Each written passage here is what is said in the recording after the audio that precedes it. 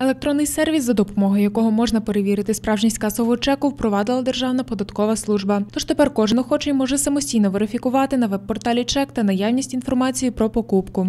на сайті Державної податкової служби за посиланням або безпосередньо ввівши пошукову стрічку Кабінет такс ГОВА, можна перейти на реєстри е, в електронному кабінеті платників і в тому числі перевірити фіскальний чек.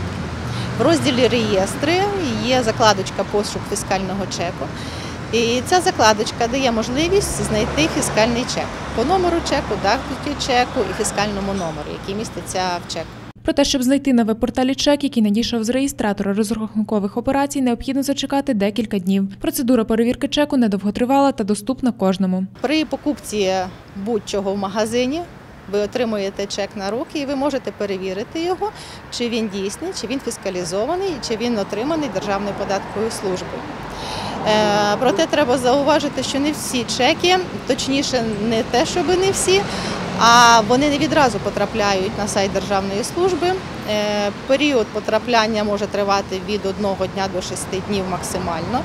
Тобто відразу не треба бігти з магазину їх перевіряти. Ми опитали жителів міста, чи вимагають вони підтвердження оплати у продавців та чи траплялись недійсні фіскальні чеки. Вимагаю і ставлюся до цього з позитивом, тому що ну, продавець теж може допустити помилку, не побачити, і щоб звірити свої фінанси.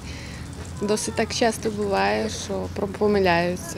І щоб виправити, подивитися, скільки чи достовірна інформація. Дуже хороший сервіс, якщо можна перевірити і звіритись, це дуже добре. Буквально кілька днів тому довелося повертати товар, а чек визнався нефіскальним.